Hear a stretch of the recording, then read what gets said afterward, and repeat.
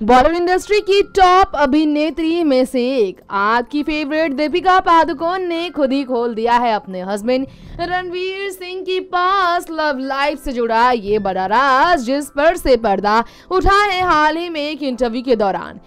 रणवीर सिंह को लेकर बात करते हुए दीपिका पादुकोण ने एक स्टेटमेंट जारी किया और स्टेटमेंट में उन्होंने कहा I was at your श्रॉज and he was there and he was flirting like it's nobody is business and he was dating somebody else at this point. And I was smiling to myself and told him, you are flirting with me?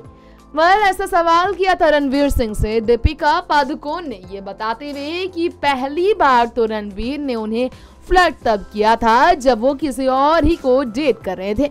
अब ये सवाल तो हम आप पर छोड़ते हैं कि आखिर किन की तरफ़ था इशारा दीपिका पादुकोण का। भाई रणवीर सिंह की वो दूसरी गर्लफ्रेंड कौन थी जिनके होते हुए दीपिका पादुकोण को फ्लर्ट करने के लिए उतावले हुए थे रणवीर। भाई, उनकी करतूतों का पोल तो खोल लिया है। उनकी पत्नी दीपिका ने शादी के एक महीने के अंदर ही ऐसे में सवाल अब एक और खड़ा हुआ है कि क्या रणवीर सिंह की गर्लफ्रेंड कोई बॉलीवुड से ही जुड़ी एक्ट्रेस थी? भाई, आपको अगर कुछ मालूम है इससे जुड़ा तो आप कॉमेंट करके हमें ज़रूर बताएँ। फ़िलहाल इस पर से चुप्पी नहीं तोड़ पाई है दीपिका। इंतज़ार है हमें कि रणवीर की एक्स गर्लफ्रेंड को लेकर भी दीपिका ज़रूर से ज़रूर तोड़ेंगे चुप्पी नेक्स्ट नाइन न्यूज़ से तृप्ति